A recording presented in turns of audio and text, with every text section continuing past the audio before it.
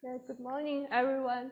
Uh, um, here I'm going to tell you about our recent work on understanding the magnetic pseudogap um, and the crucial role of vertex corrections for it. And I'm Mengxing, I'm a new faculty from the University of Utah, and most of the work I'm going to talk about is done when I was a postdoc at KITP. Uh, so first, like, let me thank uh, my collaborators, uh, these three gentlemen based at University of Minnesota, Andrey Chubukov, Zhentao Wang, and Rafael Fernandes. And it is based on these two works uh, we posted on ICAP uh, this year. So to start, uh, let me show you um, what do I mean by pseudo gap here. So it has been seen uh, in uh, various kinds of strongly correlated systems, and let me use the schematic phase diagram of cuprates as an example.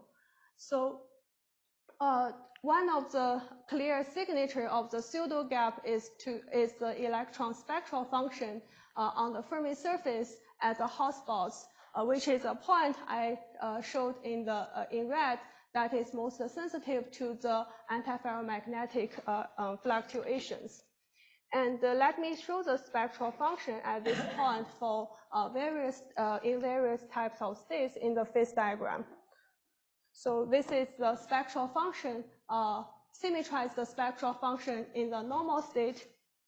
And in the ordered state, say the superconductivity state or antiferromagnetism, the spectral function is peaked at finite frequency, and this gap is determined by the uh, size of the order parameter. And for the pseudo gap, uh, what they mean is, well, there is no long range order, but the spectral functions still uh, show maximum at finite energy. And the question is how to obtain the pseudo gap, uh, and it, which must come from some uh, strong correlations. And there have been various scenarios uh, to understand the formation of pseudo gap. Here, I'm going to take a, um, I'm going to consider a magnetic thermal fluctuation scenario near the SDW criticality. So what we consider is to uh, ask what, how the pseudo gap develops as uh, we deviate from the SDW order at finite temperature. So there have been several multi, uh, supportive evidence of this scenario. Um, one of the, um, for example, uh, in the numerical studies, uh, the, um, the, DMF, uh, the uh, fluctuation diagnostic method uh, in the DMFT have shown that the short-range anti, the antiferromagnetic fluctuations dominate over other fluctuation channels for example, the, uh, the uh, particle-particle or superconductivity fluctuation, as well as uh, spin uh, fluctuation at other momentum. and also, it was shown that the static fluctuation dominate over the um, dynamical fluctuations, where the static part is shown as the red region here. And there are also other evidence from experiments that show uh, a large range of collective short-range magnetic fluctuations in the phase diagram.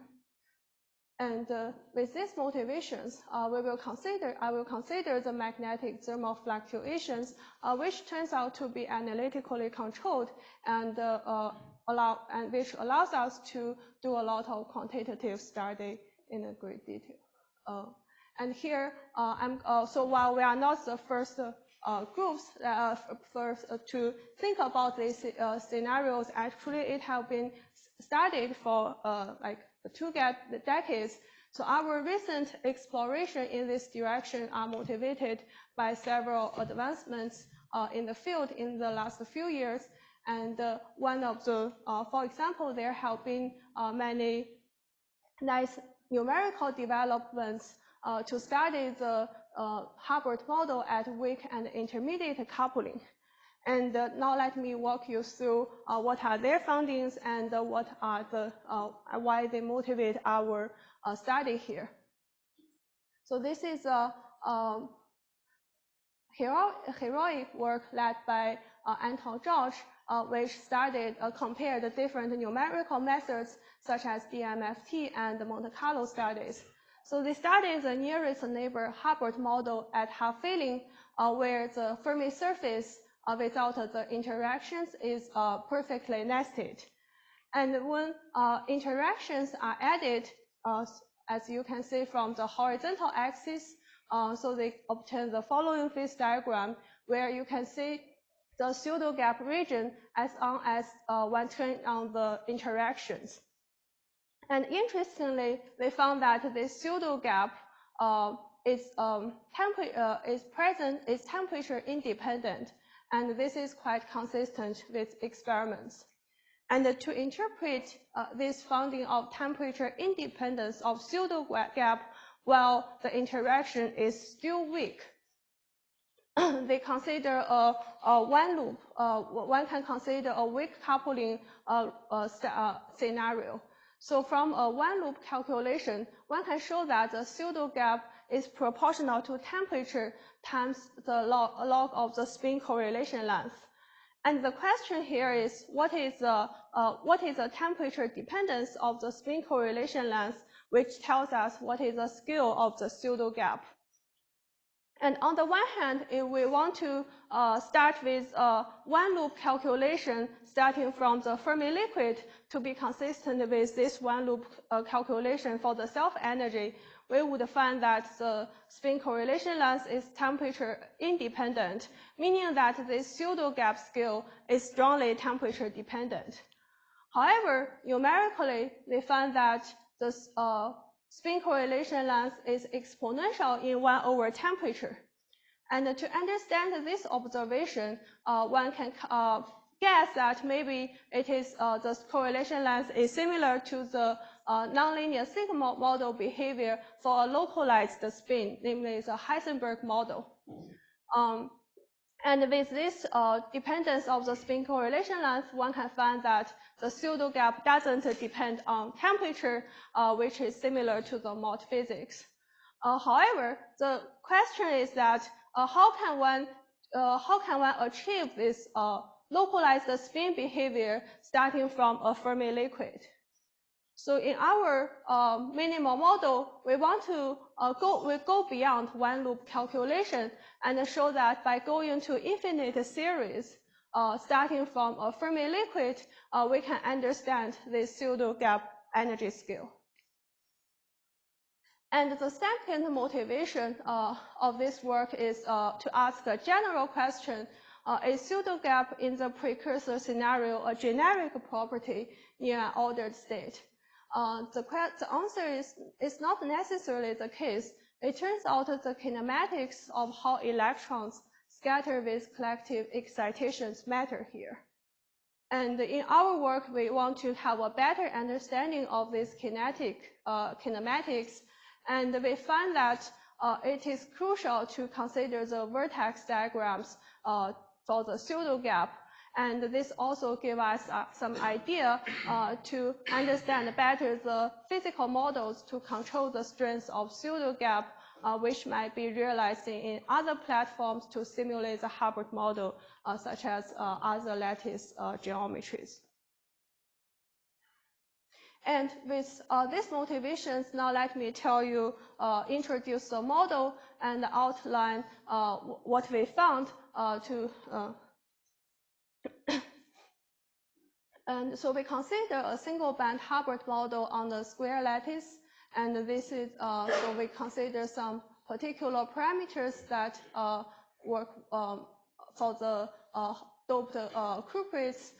And, uh, like, uh, and the, by, by either increasing the Hubbard U or decreasing the doping, the system can go from a Fermi liquid to a SDW ordered state. And for simplicity, we just consider this antiferromagnetic order.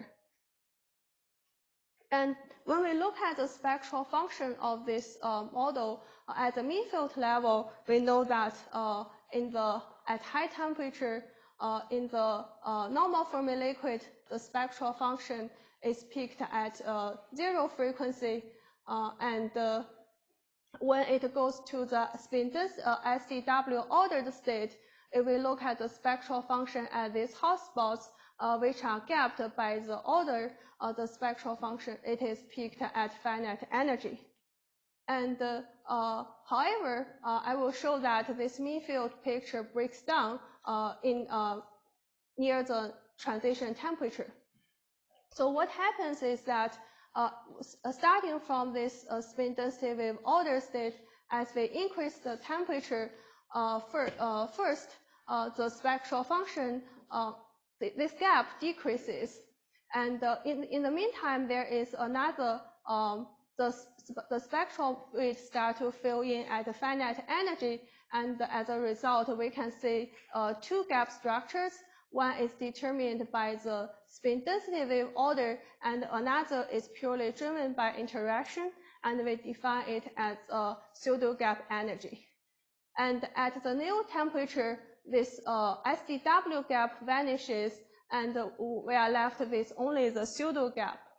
And as temperature further increases, um, there will be more spectral weight filling in at zero frequency, and we will see uh, this pseudo, uh, pseudo gap metal. And only at a much higher temperature, uh, we, uh, the system recovers to this Fermi liquid behavior. So in the rest of the talk, uh, I will tell you about what we found of the interplay between these uh, three energy scales, the SDW order delta, the pseudo gap energy, and this characteristic energy for the normal Fermi liquid. And uh, uh, I will show you that in a, in a range of this phase diagram, uh, the, the pseudo gap energy is temperature independent. And uh, also from this quantitative study, we are able to identify the range of magnetic pseudo gap in the Hubbard model. And uh, finally, I will uh, edit this, these calculations. I will tell you about uh, our understanding of the crucial role of vertex corrections uh, in the pseudo gap formation. Okay, so the the the, the scenario of magnetic thermal fluctuations giving rise to pseudo gap has been started in uh, one loop calculation, like back uh, to three decades ago. And first, I'm going to tell you about what, what is the pictures there. So the intuition is very simple. So at finite temperature, uh, we can compare uh, when the system is uh, like in a short range antiferromagnetic ordered state, uh, we can compare two length scales. One is a thermal de Broglie wavelength and another is a spin correlation length. And when the temperature is much greater than this uh, characteristic fermion energy, meaning that the, Broglie wavelength is much smaller than the spin correlation length, the electrons effectively see the uh, spins in the antiferromagnetic ordered state. As a result, their uh, they, their uh, like spectral function will be high, uh, different from a free electron, and they will see a gap. They will have a gap. And in the computation, uh, one can turn this picture to computing the one loop self energy for the electrons uh, due to purely thermal fluctuations and find that there is a dimensionless thermal coupling lambda. And when it is greater than the critical lambda, which is order 1, the spectral function develops pseudo gap. However, uh, this is lam this lam critical lambda is of order 1. So when uh, we are really in the pseudo gap phase, it is like a strong coupling theory. So we need to ask the question whether this one loop calculation is enough or not. And to uh, answer this question, uh, we, uh, we consider the infinite summation of relevant diagrams. And to achieve it, we do a, a simplification, namely at large lambda, the energy we are interested is larger than the, uh, this uh, character, characteristic fermion energy. As a result, uh, we can pull this Green's function uh, inside this uh, uh, integral out of the integral, and we arrive at this simplified self-energy expression. And if you do some simple calculation, you will find that this self energy uh, is proportion uh, is in power of one over frequency, uh, and this energy delta tilde is uh, uh, determined by the temperature times the log of the spin correlation length. And this is very similar, similar to the calculation in the SDW ordered state with a different delta tilde. And with this simplification, uh, we can do this computation, uh, the summation both in the uh, below the Néel temperature and above the Néel temperature. And we can compute self-consistently the SDW order, the chemical potential below the Néel temperature and the spin correlation length and the chemical potential above the temperature. Uh, I will skip the details of the calculation, but want to highlight that this is not an RPA or Eliashberg type of summation, but one can do it accurately uh, for thermal fluctuations.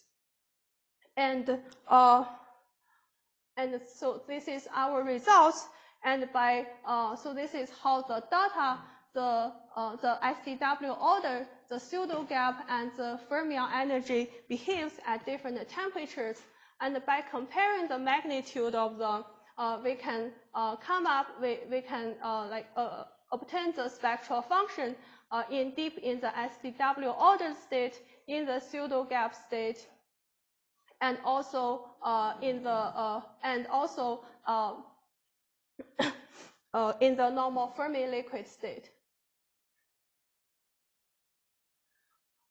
And uh, furthermore, uh, we can compute this, uh, we can compare the spin correlation lines we obtained from our calculation uh, with the DMFT study and find that indeed this uh, psi is proportional to uh, exponential of inverse temperature and that give rise to a constant of the pseudo gap. And another interesting thing we found is that the temperature uh, in the pseudo gap region is much smaller than the characteristic fermion energy, which means that uh, actually we are probing the physics when the thermal de Broglie wavelength is much smaller than the spin correlation length, but nevertheless we still see the pseudo gap um, feature. Mm -hmm. In your calculation, does the result even depend on the ratio of de Broglie wavelength and temperature? And, uh, no, and the correlation. There's no crossover up. whatsoever. Uh, there. As you go through that uh, value. So at very, uh, very, very close to the Néel temperature, uh, it is. Uh, let me show.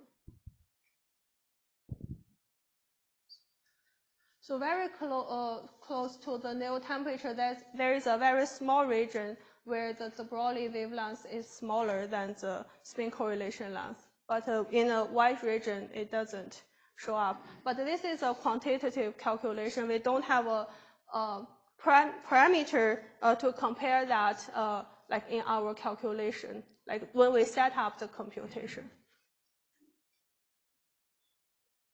And uh, uh finally, this is a phase, uh, this is a phase diagram we obtained and uh, uh, right about the uh, SDW order state, we identified two pseudo gap uh, scale, and one uh, comes from the infinite summation I mentioned earlier, and another part uh, I, we show that we can do it from a one loop calculation. And so to emphasize, all of these pseudo gap features cannot be obtained from a self-consistent one-loop calculation, namely the computation like this, uh, like one did in the uh, uh, Eliashberg theory. So the question is, uh, so the next question for us is to understand, like, uh, what, why, uh, what is the role played by the vertex corrections such that this self-consistent one-loop calculation breaks down?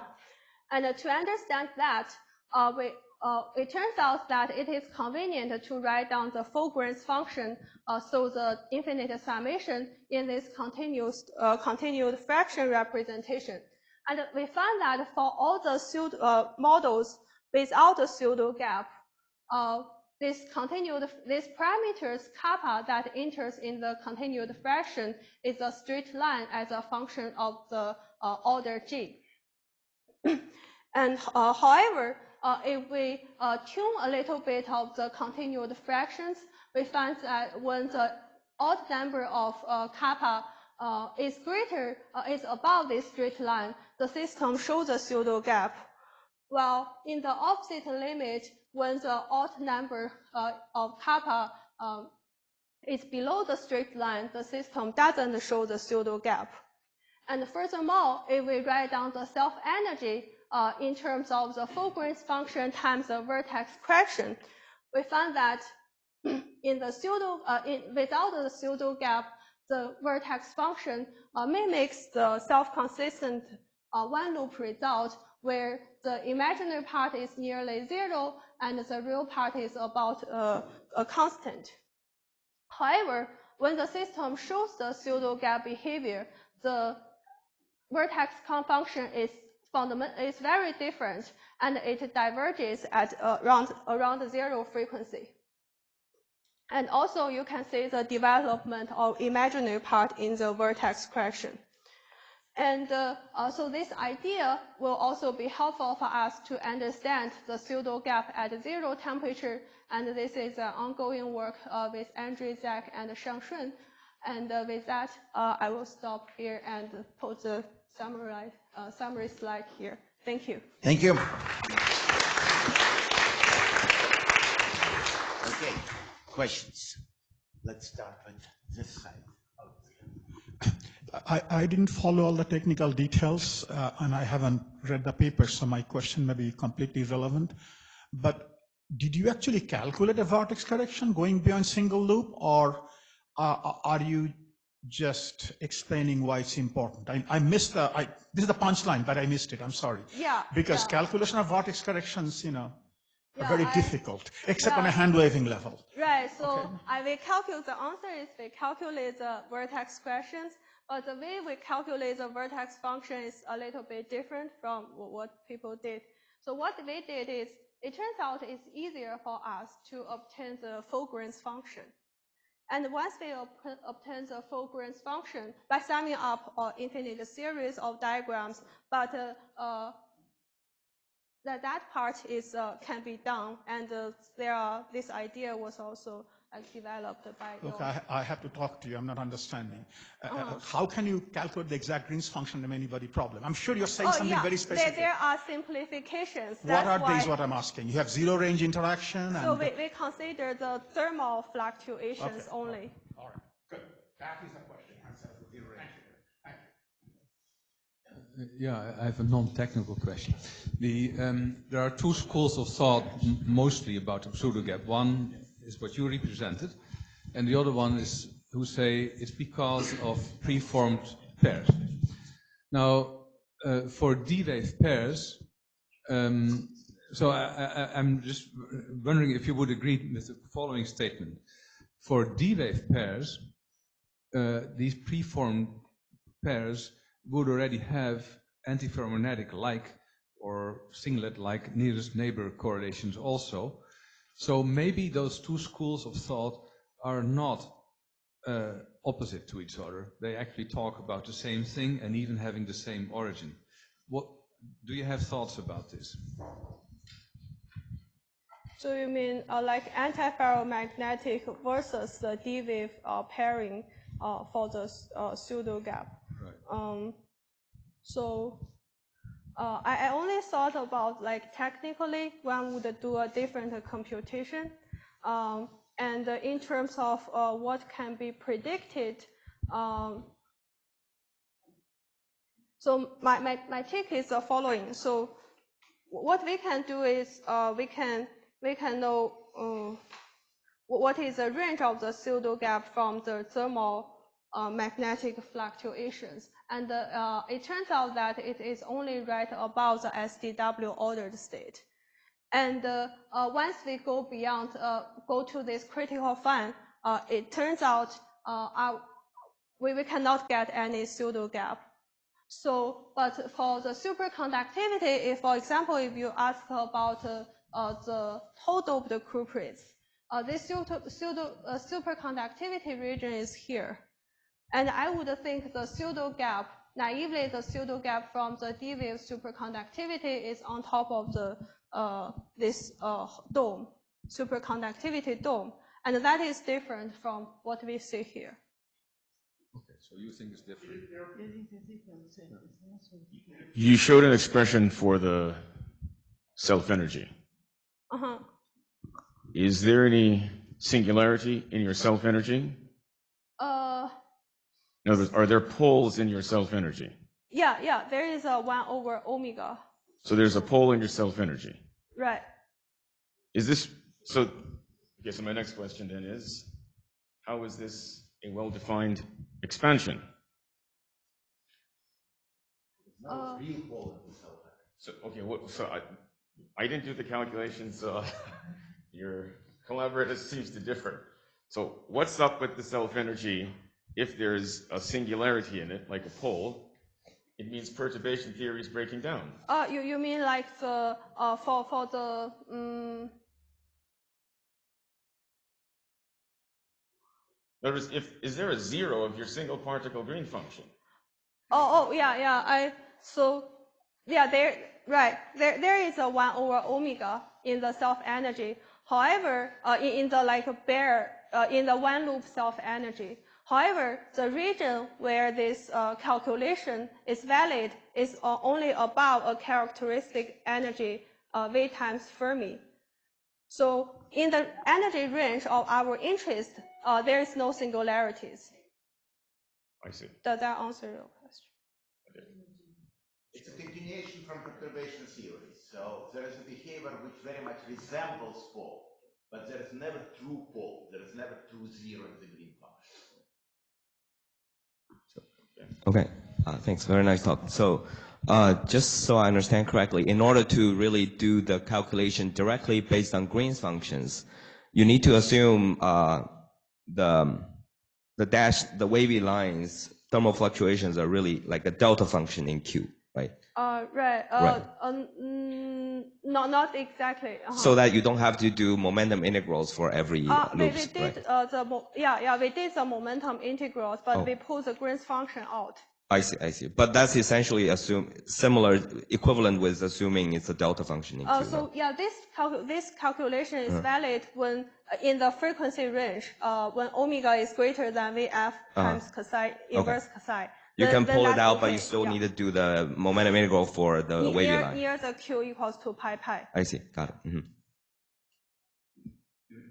Uh, Do you have any comment on the pseudo gap on the other side of the QCP? Uh, you mean on this side? No, no. or Not this side. Yeah. Uh, Is there a pseudo gap there at all? So currently, uh, we are thinking about the zero temperature, temperature calculation in this range, uh, like uh, considering the vertex corrections. And uh, the idea is that uh, when the, uh, it's also a particular model, uh, when the self-energy is much greater than the Fermi bandwidth, uh, Fer- uh, Fermi energy, then we can do a similar procedure of pulling out the Green's function and considering the vertex corrections. And in that limit, uh, we can uh, say a pseudo gap features. So there is a pseudo gap feature in the Fermi liquid regime also. Uh, yeah, yeah.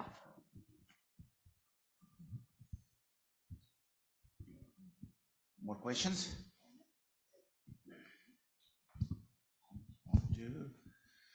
Okay, thanks very much. Thank you. Thank you.